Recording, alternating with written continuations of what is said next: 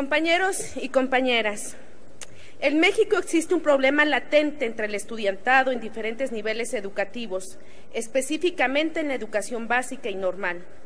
el déficit de comprensión lectora. Este comprende y es considerado como la aplicación específica de destrezas de procedimiento y estrategias cognitivas de carácter más general y de competencias fundamentales para el desarrollo de cualquier estudiante. Esto significa que el déficit mencionado afecta de sobremanera el aprendizaje de las personas, tanto el conocer y el ser, como el de participar en la sociedad. Por ello, el grupo parlamentario del PRD, ante esta problemática, reconoce la importancia de fortalecer la presencia del libro y de la lectura en la sociedad para el desarrollo de la ciudadanía y de las capacidades comunicativas.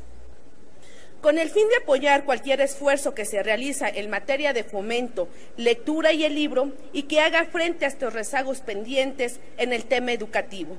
generar capacidades de reflexión, de articulación, de comprensión, de articulación que conforman nuestra sociedad. Debe de ser una de las prioridades de nuestra enseñanza. De esta manera, apoyamos este presente dictamen que busca modificar el artículo 14 de la Ley de Fomento para la Lectura y el Libro el fin primero de esta modificación es fortalecer y consolidar el Consejo Nacional del Fomento en el libro y la lectura como un órgano consultivo de la Secretaría de Educación Pública y un espacio de concertación y asesoría entre todas las instancias públicas, sociales, privadas vinculadas al libro y la lectura.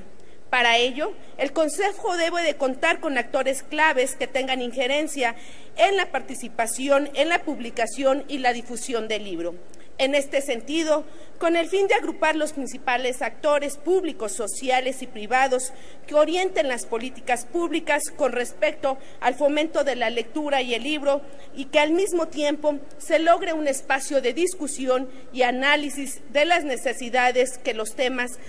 de este englobe. La iniciativa en comento busca reconocer la importancia de la participación de los titulares, como es del Fondo de Cultura Económica, el Instituto Nacional del Derecho al Autor, la Comisión Nacional de los Libros de Textos Gratuitos y se ha generado por su importancia la Comisión de Bibliotecas y Asuntos Editoriales de la Cámara de Senadores y la Comisión Bicameral del Sistema de Bibliotecas del Congreso de la Unión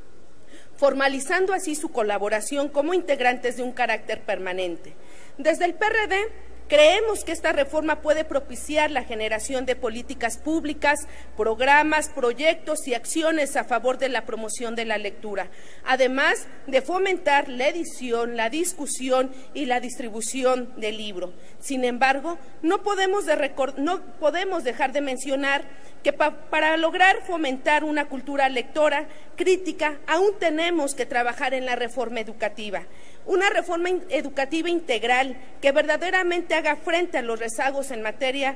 de educación y que ésta se ven reflejado en 5.39 millones de personas que